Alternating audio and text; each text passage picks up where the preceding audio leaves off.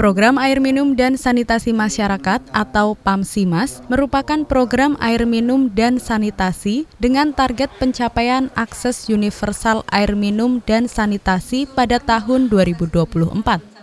Keberadaan PAMSIMAS membantu pemerintah Kabupaten Kebumen serta masyarakat untuk meningkatkan jumlah warga yang mempunyai akses air minum layak serta sanitasi aman yang juga mendorong perubahan perilaku hidup bersih dan sehat. Kegiatan PAMSIMAS sudah ada di Kebumen sejak tahun 2008 dan masih terus dilakukan. Di tahun 2020 ini, program Parsimas di Kabupaten Kebumen dilakukan di Desa Baru, Desa Pasca Pamsimas. Untuk memberikan pemahaman tentang program Pamsimas tahun 2020 kepada desa penerima, maka bertempat di Hotel Maxoli Kebumen, Rabu 12 Agustus 2020, dilaksanakan sosialisasi program Pamsimas tingkat Kabupaten Kebumen tahun 2020.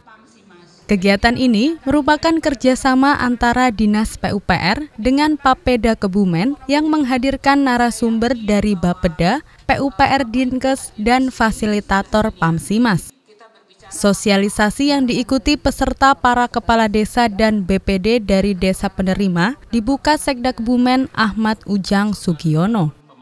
Dalam sambutannya, Sekda mengatakan bahwa Kabupaten Kebumen pada tahun 2018 telah mencapai angka cakupan pelayanan air bersih sebesar 66,75 persen. Angka tersebut belum sesuai target RPJMN yaitu 100 persen.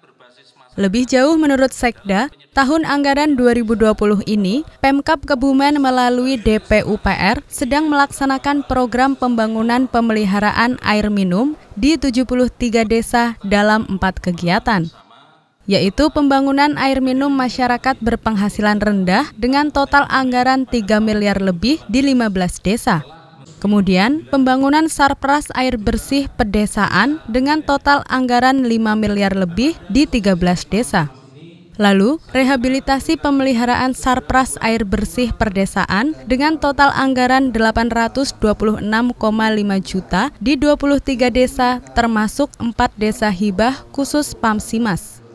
Dan yang terakhir, bantuan sosial belanja tidak langsung PAMSIMAS dengan total anggaran 1,359 miliar di 12 desa reguler APBN, 4 desa reguler APBD, dan 6 hibah insentif APBN. Berkaitan dengan hal tersebut, Sekda berharap agar pemerintah desa segera membuat surat pernyataan minat dan surat usulan untuk mendapatkan bantuan program PAMSIMAS baik desa baru maupun desa pasca Pamsimas. Sementara kepada dinas terkait dan kecamatan serta fasilitator, Sekda berpesan agar memberikan dukungan dan pendampingan pengajuan usulan atau minat dari pemerintah desa atau masyarakat. Dari Kebumen Tim Liputan Ratih TV memberitakan.